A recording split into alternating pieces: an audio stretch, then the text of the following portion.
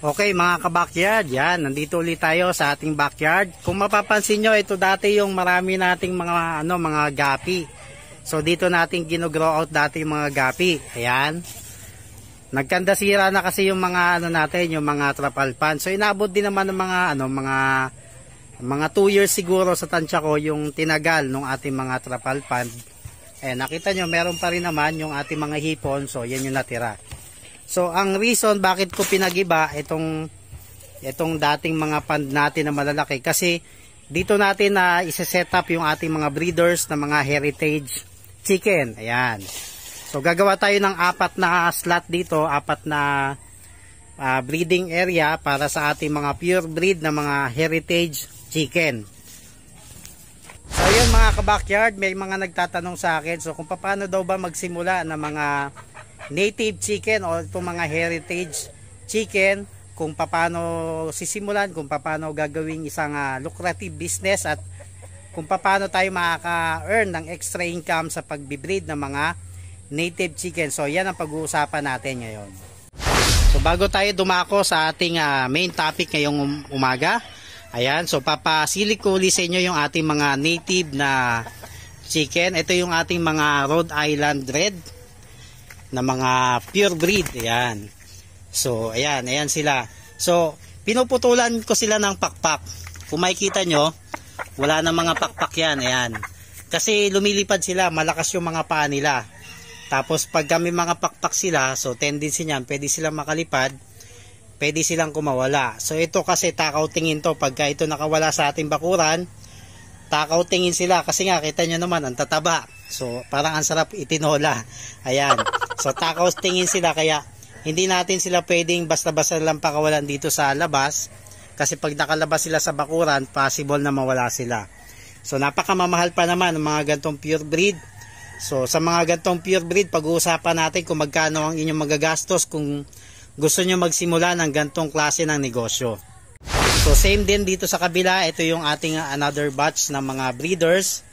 Ayan, putol na din yung mga pakpak ng mga hen. Ayan, so pinutol ko na rin yung pakpak nila. Ayan, ginupit ko na. Kasi nga baka sila lumipad. Kasi yung yung taas natin yan, meron pang ano yan, wala naman talagang bubong, hindi siya talaga kulong, kaya possible na lumipad sila. So, i-check natin kasi hindi pa kami nag-harvest ng egg. So, titignan natin kung meron silang itlog ngayon. Kasi hindi pa nag-iitlog. Ayan, tama-tama. So, meron ng isang itlog dito. O, bali, dalawa pala. Ayan. So dalawa 'yon ang itlog. Ayan, dito sa sa itlogan na 'yan. Then dito yung isa, abangan ko pa yan maya-maya kasi tatlo yung nangingitlog dito na inahin. So ayan, may nangitlog ng isa. So dito, tignan natin baka may nangitlog din dito. Okay, walang itlog. Ayan. So ayan, dalawa ang itlog. Then dun sa kabila, nag-harvest na kami kanina. So dalawa na yung nakuha namin doon na, na mga itlog. So yun ang kagandahan dito pag bumili ka ng uh, breeder na kagad ng mga mga ready to lay na mga chicken kasi pagkadating sa inyo, condition nyo lang yan, mga 2 days lang, mangingitlog na kagad sa inyo. So hindi na kayo maghihintay ng matagal. So yun yung advantage pagka bumili ka ng mga mga ready to lay na na mga inahin. Kumpara sa kung bibili ka ng sisiw, matagal mo pang hihintayin yon. So, possible yan, mga 8 months bago sila mangitlog. So, ang laki ng difference nila. Although, malaki talaga yung kailangan yung ilabas na puhunan, pero, mabilis naman babalik kasi nga, mag-iitlog kagad sila, makakapag-produce kagad ng sisiyo or pwede ka na kagad magbenta ng mga itlog. Okay, sa mga nagtatanong kung magkano ba yung uh, pwede nating uh, gawing puhunan sa gantong klase ng negosyo, ito nga mga native chicken. So depende sa mga materyales na mabibili ninyo. Merong mga materyales yung mga native na uh, mumurahin lang yung tinatawag nilang upgraded. Ibig sabihin nun hindi siya pure line. Halimbawa itong Rhode Island Red, ikrinos dito. So pag binenta sa market, mas mura na siya. So kung ganito, nagkakalaga sila ng 1.5 ang isa. Depende, minsan may 2,000. Meron pa nga akong uh, uh, in-inquire yung ano, yung malalaki siya, mas malalaki dito yung mga inahin. So, nagkakahalaga ng 5,000 isang pares pa lang. So, depende kasi sa sa mga sa mga line na gusto nyo uh, bilhin, sa mga gusto nyo i-breed. Kung low budget ka, ang masasuggest ko yung mga upgraded na native chicken. Kasi ganito rin sila kalalaki pero hindi na nga lang sila pure. Pero pwede mo sila mabili ng 500 ang isa. Ayan, so kung bibili ka naman, uh, mas maganda kung meron ka ng apat na hen or limang hen, isang rooster.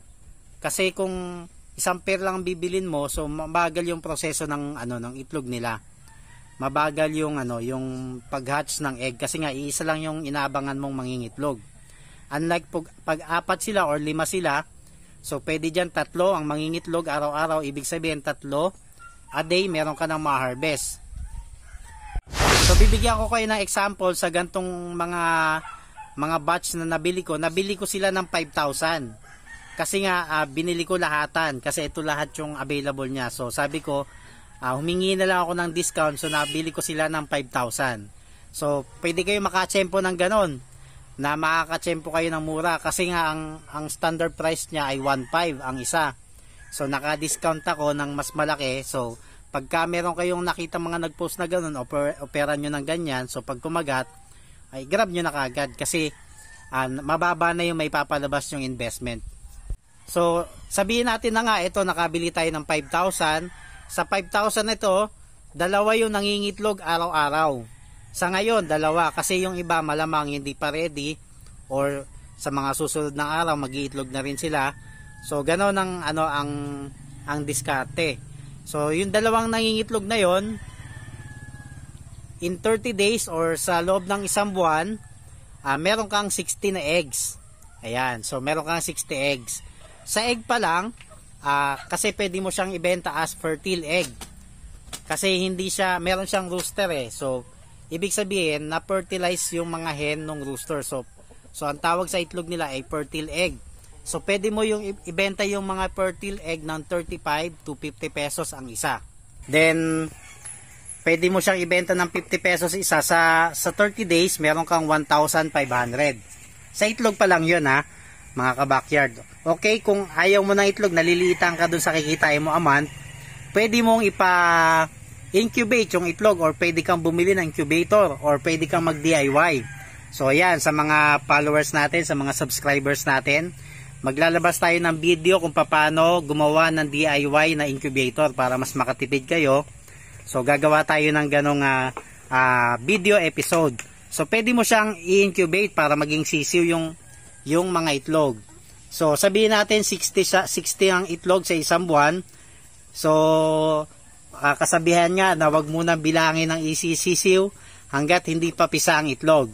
Okay, 60 yung itlog mo, sabihin natin 50 ang mapapapisa mo na itlog. Sa 50 na itlog, 50, 50 na napisang itlog, meron kang uh, ah, 50 na sisiw, okay, 50 pieces na sisiw. So, sa sisiw na yon pwede mo siyang ibenta ng 100 ang isa, meron kang 5,000 sa isang buwan. So, imagine, ganun kabilis. Yung na-invest mo na 5,000 ay sa isang buwan, pwede mo na kaagad mabawi. So, ganun kabilis yung investment sa gantong klase ng mga heritage chicken. Lalo na kung pure yung inyong mabibili. Napakabilis talaga ng investment.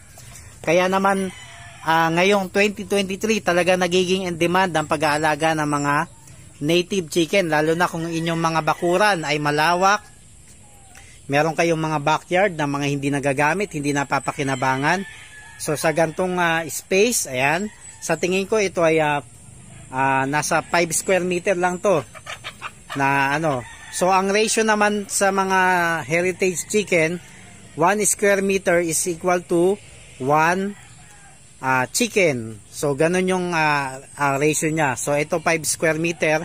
So, saktong-sakto, anim yung aking mga alaga rito. So, sakto lang siya. So, ganun din dito sa kabila. Uh, meron din akong 5 square meter dito. So, meron din akong anim. Anim dito ng mga breeders. So, saktong-sakto lang sila. So, ganun yung ratio niya. Pwede kayo sumobra kahit na isang square meter lang, okay pa yon. Huwag lang masyadong maging overcrowded. So sa ganito, pag nilagyan ko to ng sampung mga breeder, ay medyo overcrowded na sila. So hindi na siya advisable.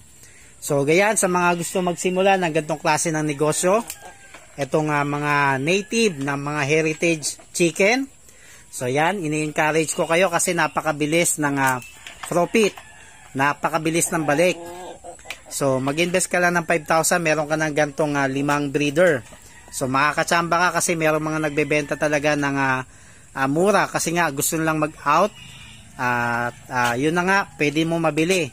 So i-grab nyo kagad yung opportunity kasi napakabilis ng ano ng re- return of investment.